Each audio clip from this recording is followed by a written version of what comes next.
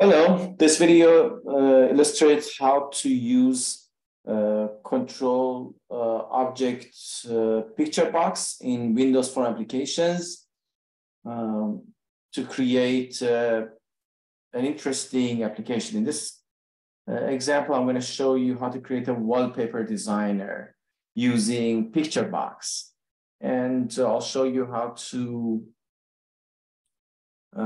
use a line drawer and uh, image filler and different brushes and pens and different colors to make the wallpaper look nice. So let's begin by uh, a very quick demo of how the application looks like. Let me hit the start button. Then after I show you the demo, I'm gonna uh, go through the code and explain how this uh, can be done in WinForm application using C Sharp. So here is the, uh, the application.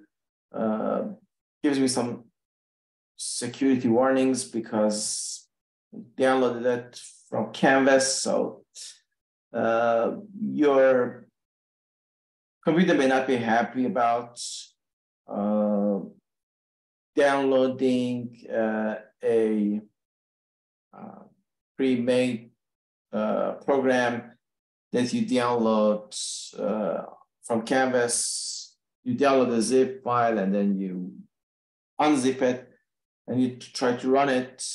You may see some errors at the beginning. Visual Studio may say uh, some files don't let you don't let uh, these programs to be executed because they are blocked for security reasons. You can simply uh, go to those files, uh, right click on them, go to properties and unblock them.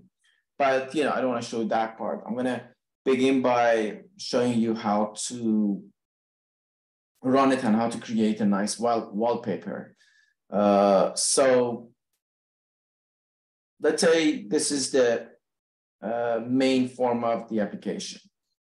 Uh, the first thing I'm going to do is to uh, draw a rectangle for my tile. Here you see the tile pattern, which is completely empty. Uh, the wallpaper is made of 12 uh, tiles in a row and eight tiles in a column. Uh, so a total of 12 times 8, 96 different tiles. Uh, and this is the width and height of the wallpaper in pixels. So let's uh, begin by choosing a shape. I said, let's add rectangle to the tile, and then I'll click on add new shape. When I click on this, uh, a new Windows pops up. That's a dialog it allows me to draw a rectangle. As you see, when I'm moving this mouse on this picture box, picture box is a control object. You can just drag it from toolbox and drop it in your program. I uh, move the uh, mouse uh, on the bottom, I can see the location of the mouse. So for example, this is uh, 4, 5. When I move all the way to this location, it's 507, 507. Here it's 5016. Here is uh, 8 and 502. That basically means the first number shows the uh, horizontal distance from the left uh, border of the picture box. The second number shows the vertical distance from top of the picture box.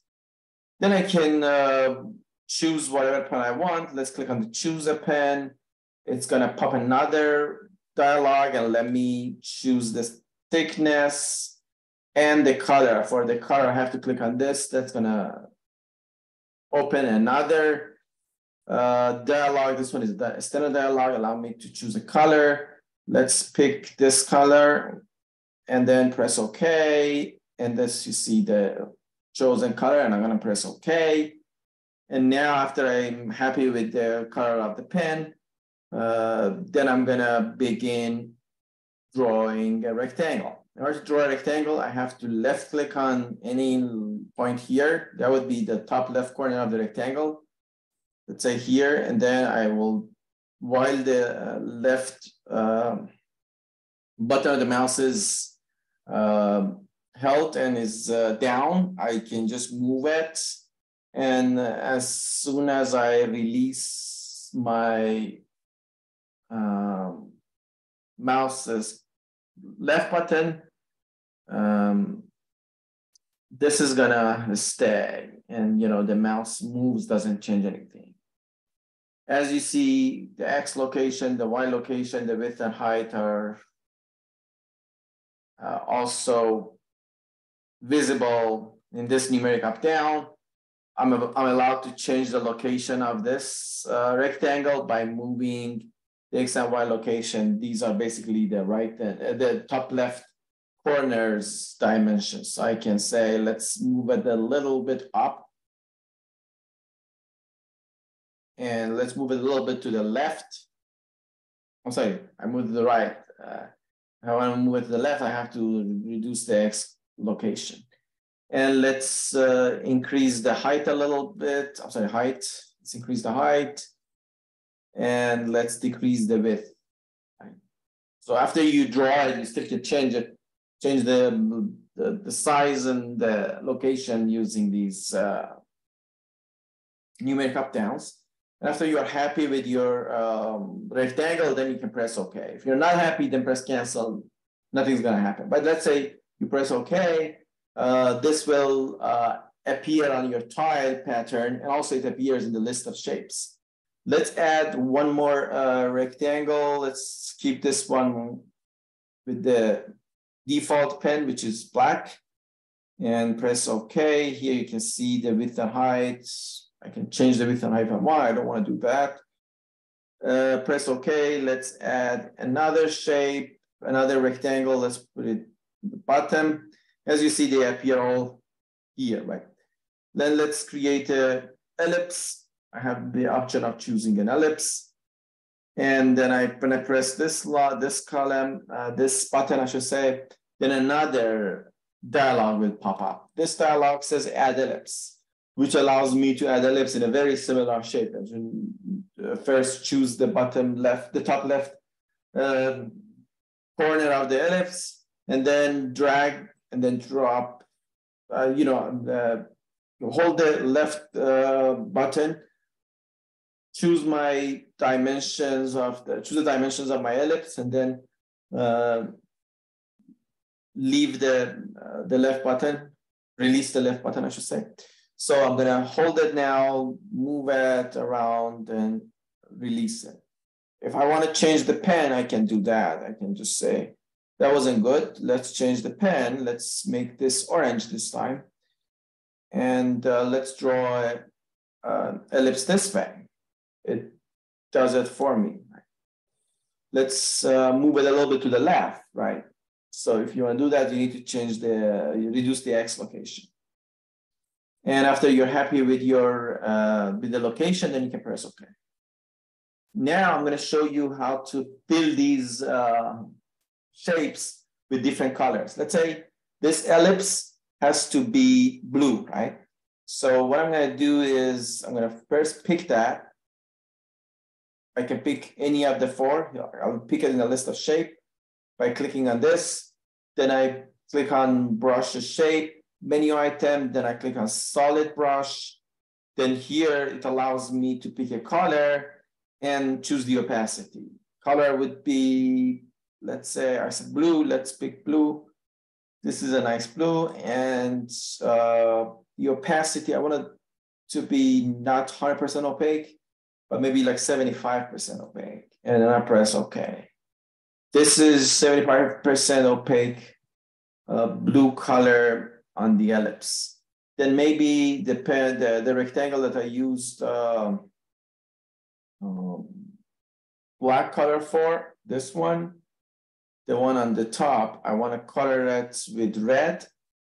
So let's select it first, then brush, solid brush, then I will do pick a color. Then I will pick the red color. Okay, make it this time 50% um, transparent or opaque. Then press OK. Then uh, maybe the bottom rectangle, which was black, I'm gonna shade it with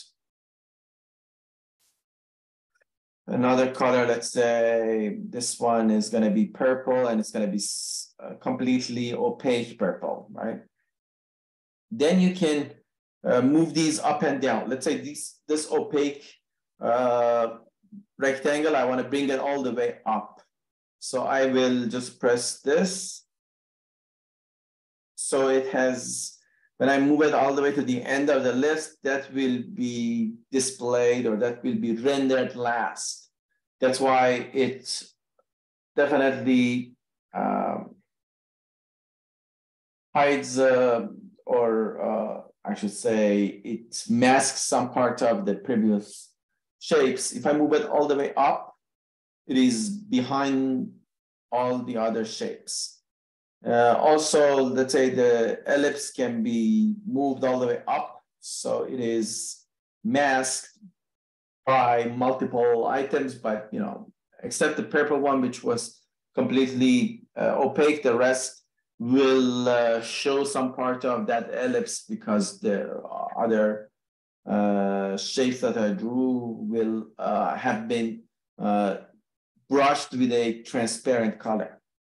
And uh, after I'm happy about this, I can preview and see my design. This is a, as I said, uh, wallpaper. I can uh, either save it um, if I want, if I'm not happy, maybe I want to change the uh, number of tiles per row. I had like 25 tiles per row and let's say uh, 25 uh, tiles per column, and then I press preview. It's much uh, denser and the tiles are much smaller because I'm gonna create same 1200, uh, what was the dimension? 1200 by 800 wallpaper. I wanna make this wallpaper much smaller, let's say I wanna make this 240 by uh, well, I cannot go below 240. I'm sorry. Uh, the minimum is 512. Let's say it's 512 by 512.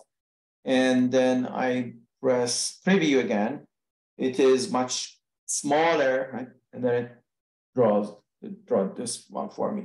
If I change this and uh, let's say move this all the way here and then press preview, the preview will give me the updated tile, right? Uh, you can do multiple items with it. You can select any of these and you can delete it using this button. Let's say you're not happy with your um, uh, rectangle with uh, uh with uh, what's the color? I, let me see if I can find it. This one um, is drawn with a, this one is a 22. I guess this is the top rectangle. If you're not happy with the top one, uh, and you want to delete it, you just press this button and it disappears, right? It's that easy. And uh, maybe what else you want to do? You want to, uh, let's say, when you're filling your uh, wallpaper with many tiles, you want uh, the tiles to be, uh, you know, finding the whole space um, when they are uh, placed uh, in a way that they are symmetric with respect to x-axis. So you can just click on x-axis and then maybe y-axis as well. And um, just to show you how this will uh, play out, let me add another item. This item uh, would be a rectangle. I'm gonna add it. Let's choose a pen, which is pretty thick, and the color, which is green. And uh, just gonna place it right here. And then I'm gonna make this green by clicking on the solid brush and pick green. And now that you know I have selected these two x-axis and y-axis rotation for the tiles, when I press preview, I will see it this way. If it was no x and no y, which is the default value, preview it, it will look like this. Let me make these smaller so you can see the difference. Keep these. All right.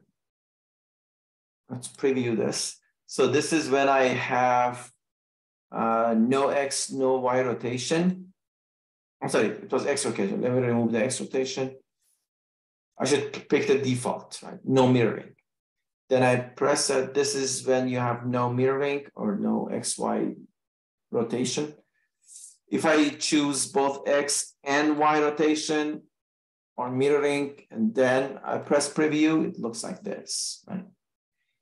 If I only select uh, Y axis and preview, they will look like this. So that's a nice feature to have. And also I can press the signature, add an update signature. And then uh, here, as you see, I can uh, uh, create a signature, let's say M I uh, C, and uh, let's say use this signature. Uh, and then when I preview, the signature appears on the bottom right. You see it, MIC, the bottom right.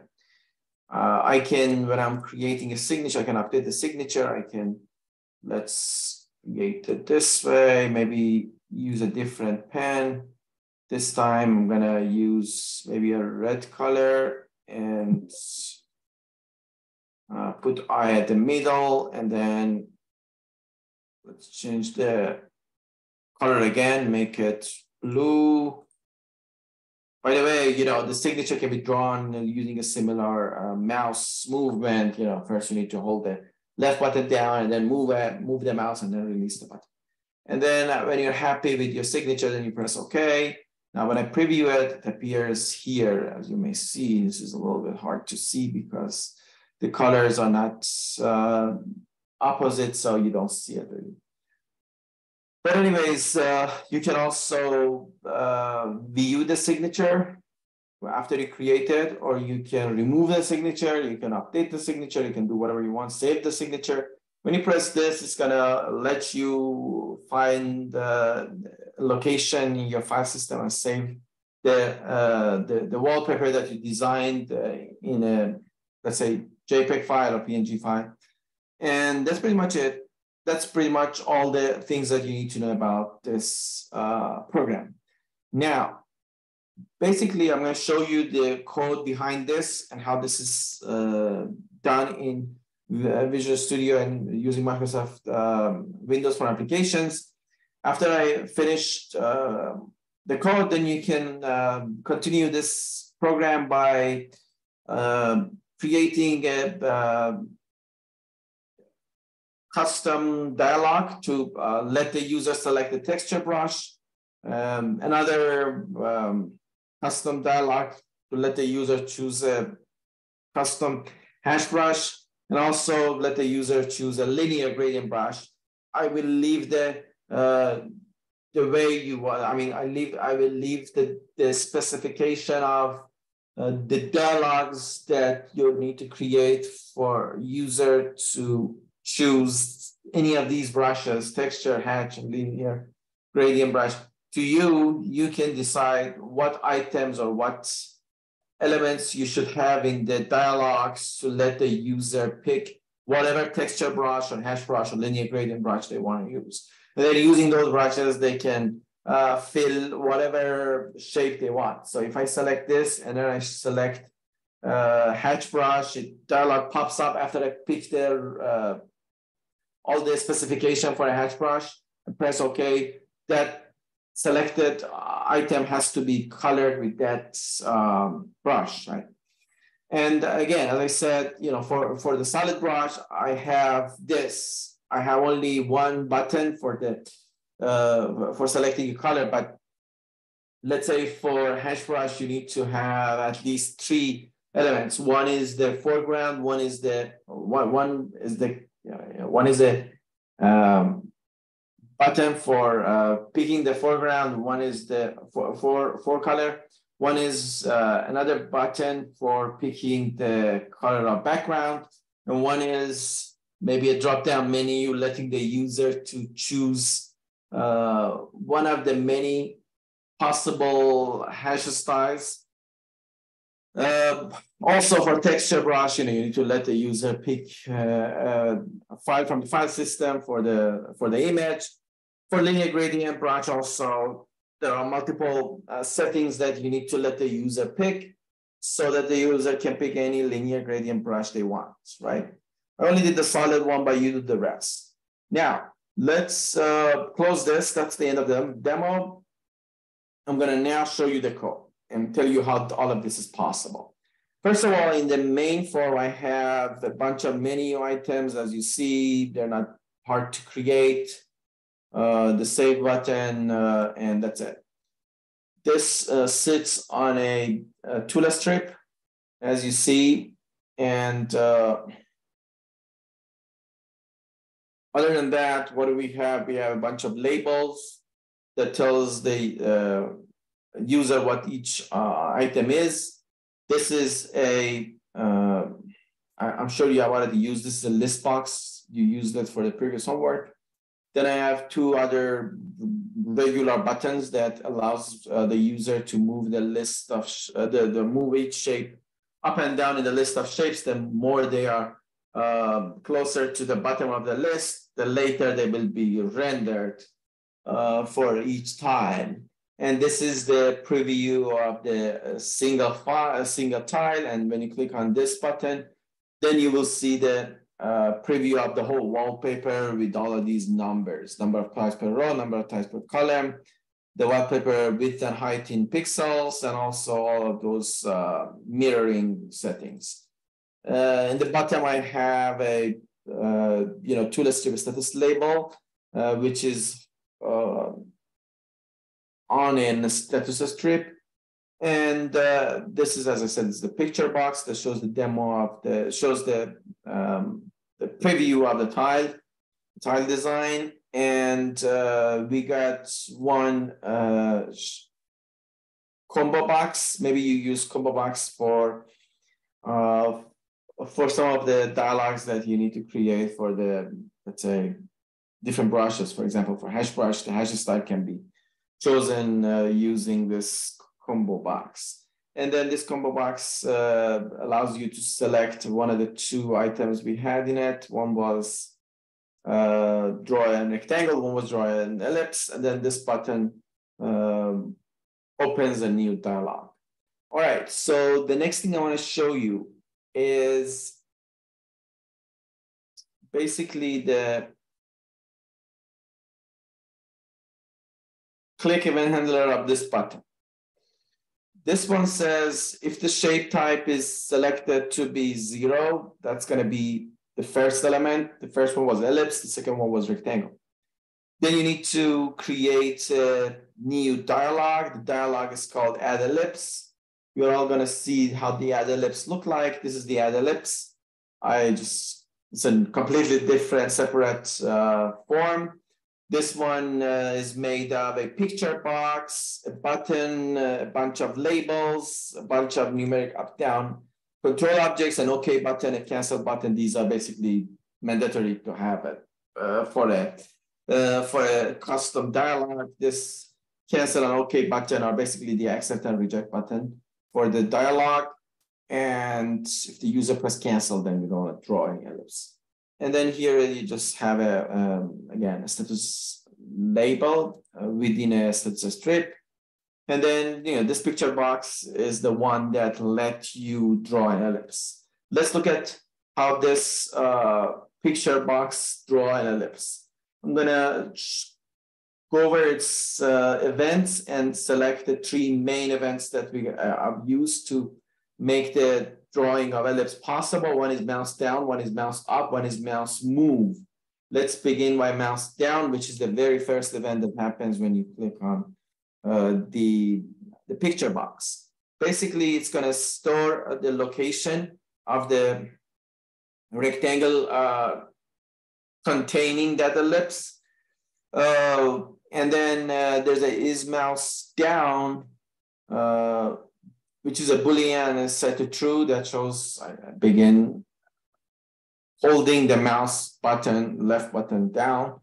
And then uh, it's going to create a new rectangle. Uh, and then it's going to uh, initialize uh, the image of uh, the picture box uh, equal to a new BMP. New B, uh, BMP, I, meant a new bitmap, which is uh, allowing you to, you know, uh, hold uh, and store, let's say, an image, and then you can store it using um, uh, format like PNG in a file system. So this is not going to do anything special. It's just going to initialize stuff. Then the mouse move the next, the next one that I'm going to explain, the mouse move uh, event of the picture box. This one is a little bit more complex. This one is going to basically check if the mouse is already pushed and that his mouse down event is, uh, his mouse down boolean is true. If that's the case, then it's going to uh, find the location of the mouse. This is only used at the bottom left corner of the dialog to show the location of the mouse. And uh, also, it's going to draw a ellipse using g.draw ellipse. G is a graphics within the image of the uh, picture box. And then it's gonna draw an ellipse with uh, actually I should say it's gonna draw two ellipses. One ellipse is drawn with a white pen, we call it the eraser pen, and one is a uh, ellipse that is drawn with uh, whatever brush that you want or whatever pen that you have selected. Um, you may say, why does it draw two ellipses? Because when you're moving the mouse multiple times, you're drawing multiple ellipses. You have to first erase the previous ellipse and then you create a new one. So let me show you. Just to make you understand, let's make a ellipse and add a new shape. Now, after I, uh, let's say I'm holding the left uh, button now uh, of the mouse, and now I'm gonna move it. As I'm moving it, I will make hundreds of uh, rect, uh, ellipses. I'm drawing hundreds of ellipses, right? But I only see at each time, I only see one of them. Why? Because at any moment, after every movement of the mouse, I have to draw two uh, ellipses. One ellipse with the pen equal to the um, background color, which is white, and another pen with the black color, which is the default pen. If I change the pen and make it, let's say, I don't know, red, then I will draw two ellipses. One is white, the other one is red. I need at any after every single tiny movement, I have to draw two ellipses. One uh, erases the previous one, another one uh, draws a new one. So that's the whole story behind this uh, part. So as you see, I first draw uh, a, a, white color uh, ellipse with the old uh, dimensions. This is the old dimension. Uh, and this is the, the new dimension, R. R is a new dimension. What is R? R is a, rectangle that you can see is created here. You can check out the mathematical formulas behind it. I don't want to go over the details of it, but you know, it's not a big deal. It's just uh, assures that you know you can um, uh, draw the ellipse in any way you want. For example, uh, the reason you see a lot of min and max and absolute value is because not only I can uh, move this here, I can move um, my mouse the other side as well. You see, I can move it in any direction I want and it draws an ellipse. So it's pretty, pretty uh, flexible and it lets you draw ellipse in any direction you want. the reason for all of these min and max and absolute values are because of that. But anyways, forget about those. So you don't need to know all of these details to finish the assignment. Uh, this story is repeated for uh, the rectangle drawing. So if I go back to this buttons uh, event handler uh, and look at uh, select index one, which is the rectangle and go over uh, the add rectangle uh, form, you will see there's the same story happening here. Let me see this. So uh, in this uh, uh, form again, in the uh, event handler, you can see the mouse down, mouse move, mouse up, mouse down, looks like this. Um, very similar to the, the, rectangle, to the mount, to the, the, ellipse. Mouse up is this, and mouse move is this. Mouse move uh, basically draws two rectangle at any uh, event. One is erasing the previous one, and the other one drawing a new one with a bigger uh, or uh, different size. So the two rectangles have two different pens and two different sizes. Now, after uh, this step, uh, let's go back to the main form. The main form was called mainform.cs. Let's find out what's going to happen when I click on preview, right? When I click on preview, the event handler basically opens another uh, dialog, which is called preview. Let's look at the preview. Preview is an empty dialog, uh, empty form with a single uh, picture box at the middle, which is docked fill. You see the docked fill here? This picture basically will contain uh, the whole um, tile. I can go over the paint events uh, of it. It's not paint, sorry. Uh, it's, uh, I, I should, uh, to show you how this is filled, I should go over the actual uh, preview form uh, constructor. So let's go to the code and show you, yeah, I was right. I should look at the paint event of the preview form. So again, let's go to the preview form. Uh, this is this is the preview form. Let's click on this. Go to the where is the paint event? Here is the paint event. And there you go. This is where I make sure that the preview of the whole uh, wallpaper is drawn properly. I basically create a new image and then uh, use the graphics uh, dot from image picture dot image uh, and choosing uh, texture brush, pass the tile to uh, what is tile.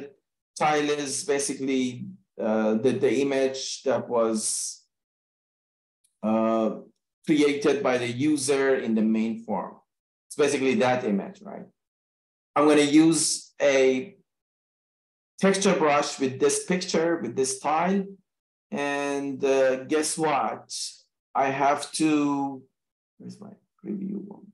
Okay, so I have to set the mirror style to either no mirroring, depending on whatever the user I've selected in the um, top left menu. Uh, it's either x-axis. I just need to change the wrap mode, tile flip X, tile flip Y, and tile flip X, Y.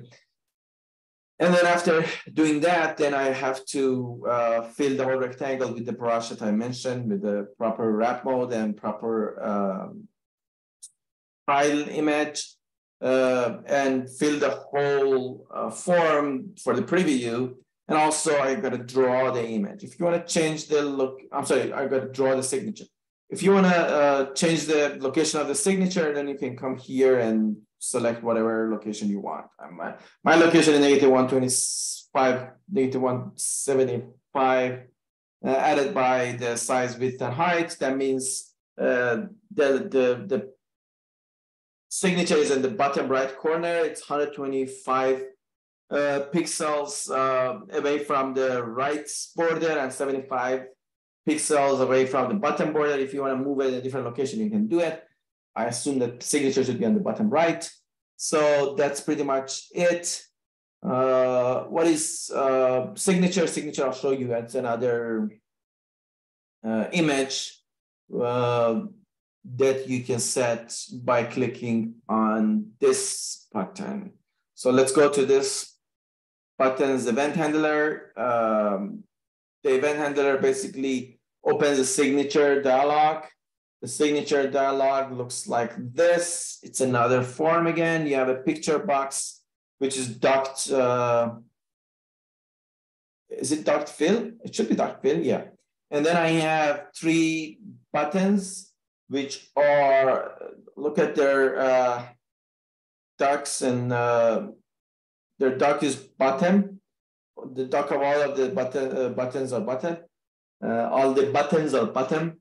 And also, basically, uh, each one serves a purpose. The clear uh, clears the picture image, image uh, they use a different button, opens a, a different uh, dialog I showed you and uses uses as my signature, which is the accept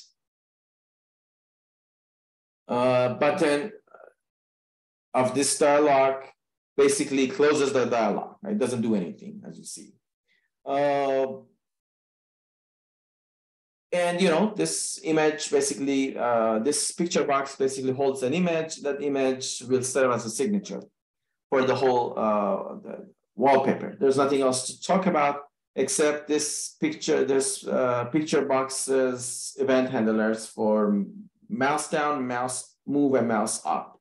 This one is not as complex as those that I showed you in the uh, draw rectangle and draw ellipse. This one is pretty simple. You always keep track of one location. Uh, that location is the previous location of the mouse. Always when the mouse is moved, you have to draw a single line between the previous location and new location using the signature pen color and signature pen width. Uh, as you see, the last point to the current point uh, will be the line and you can smooth it if you want using anti-aliasing just to make the signature a little bit nicer. And that's pretty much it. Uh, wow, this was a very long uh, explanation, but let me show you the save uh, button as well. And then we can um, pretty much wrap this uh, video. The save button, if you look at the uh, event handler of the save button, it's going to first open a um,